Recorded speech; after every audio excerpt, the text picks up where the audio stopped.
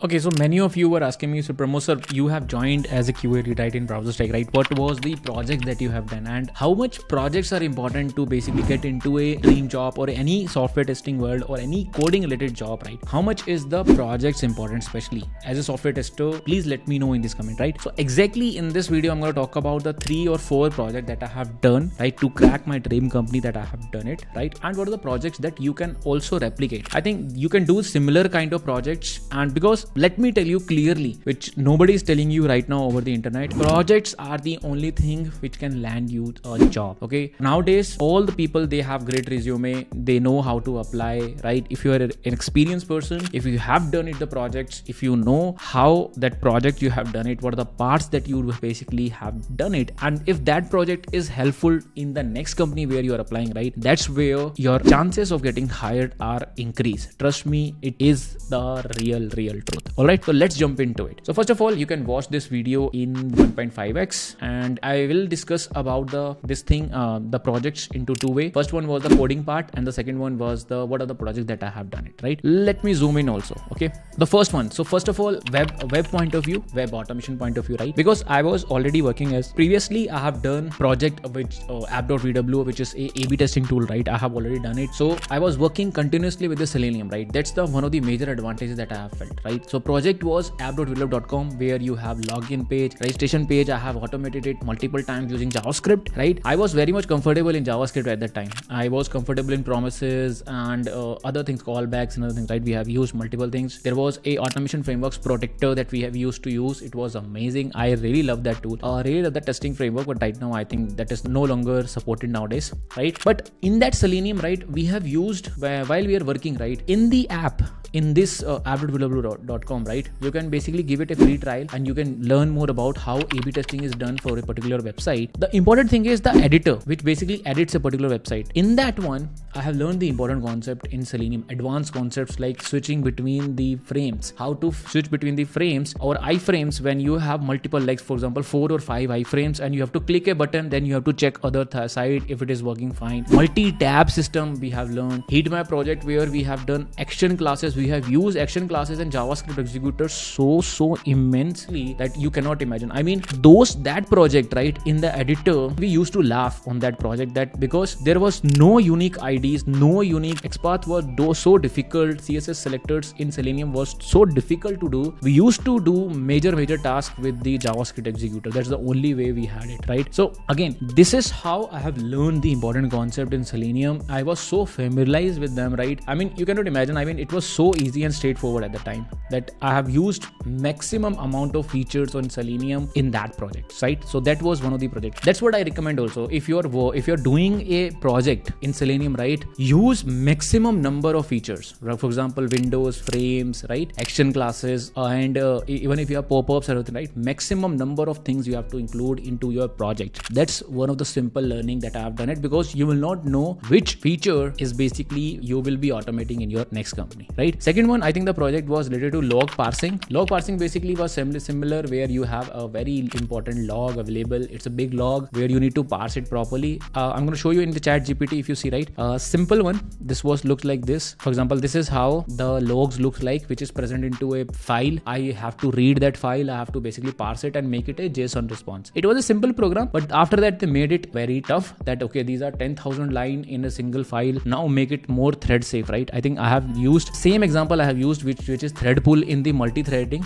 right? Read a file then by using the executor in multi-threading right? I used to teach this also because i have taken the classes so that's why i knew these things where you can use a thread pool and you can ask a thread to do the parsing as well as writing the file into the system. That's what and after that you can create a json objects which will return you in multiple ways. So this is the solution. I will post the link also if you want to check it out in a thread safe manner right? But again log parsing was one of the important project that you can do. Again the third important point related to this is the framework structure guys i was familiarized with the web automation frameworks in Selenium so well, I know how to use the page object pattern, different design patterns in Java, for example, builder pattern, adapter, factory, right? There are multiple ones, like four or five patterns. I have used them personally in multiple projects. That's why uh, when they ask the question related to it, right? Okay, what is this pattern? What is a builder pattern? What is a factory pattern? What is a singleton pattern, right? I had the knowledge, I have given them that, okay, this is an example, this is how it can be done, and I have showcase them with the proper code also. That's what. Second important point is framework. Guys, I've seen over the internet people say that okay, people are not asking questions related to framework. That is not true. I've seen people are still asking questions related to framework, page object model, what is the folder structure that you are keeping, right? How you are running your test cases parallelly, and how you are maintaining your test cases, how reporting you are managed, which logs you are using in Selenium project. This one, all of them you have to basically take care. So please, if you're working with web automation, you can take out a app.vwo project or you can use any other project. For example, I have given in the last video, I have given multiple websites where you can test it out. Log parser, these kind of projects or frameworks that you should be well, well versed when you are applying for a job that's was the important thing right? In api testing i think i have given multiple times i have talked about it. Github repo api basically where crud operation specifically where github generally use basic auth and OAuth2 so i have used both of them. In the jira api also you have you can use basic auth and now you can only use OAuth2 so i was pretty much comfortable in OAuth2 how the properly token and other things are basically done right? All the crud operation what are the test cases that you will add right? All these projects you can add. So these two projects i have basically talked about in my interview right? These are the node project that i have done specifically but on weekends right? On saturday sunday i used to do these projects. I used to add them into my postman so that because i was learning those concepts as a postman right? I was creating videos also. So those videos or those projects actually helped me to crack the my dream company job right? So you you never know guys. You never know which one is will be helpful for you in the future. So make sure you are doing practice on saturday sunday. Take out some time no? Take out some time like two hours three hours uh, per week right? Saturday sunday and do those projects related to api web automation. That's the super important point okay? Now the third one which is mobile automation. So when i have joined my third company right uh, where i have joined as a mobile tester right? So i used to do it basic automation for login. I think for mobile one i have not done it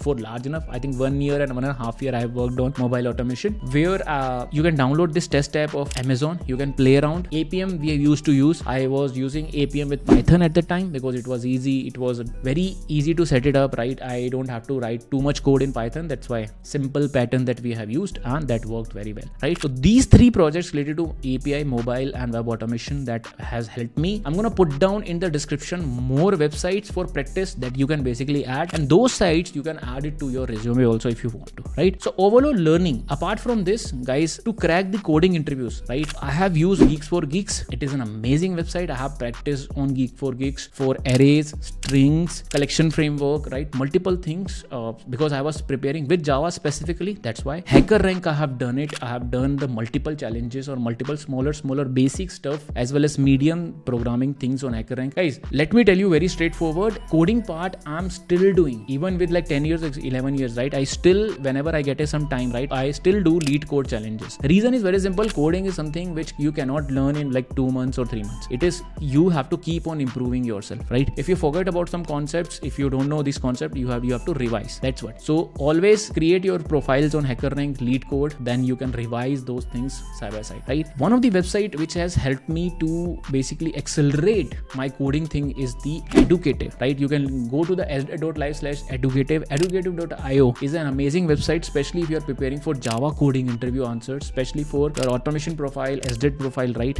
Go with it. Trust me it will be a worth it will be a worth of it. There is a course which is ace your java coding interviews that contains multiple multiple questions which were direct which are directly getting asked in multiple companies like cognizant and any most of the companies who are hiring as automation. I've seen it right? So coding part is sorted by using educative.io LeetCode and HackerRank or geeks for geeks for most of the solutions. Projects wise these are the projects that i have discussed which are basically helped me a lot. Thanks a lot for uh, watching this video. I hope this video helps right? For example i was just talking about what are the projects that i have done it which has helped me to crack a QA lead position at the time, right? Thanks for joining in. I hope this helps. If you need more help, let me know in the comments. If you like this video, just give me a like. Thanks a lot. I'll see you in the next video. Bye bye.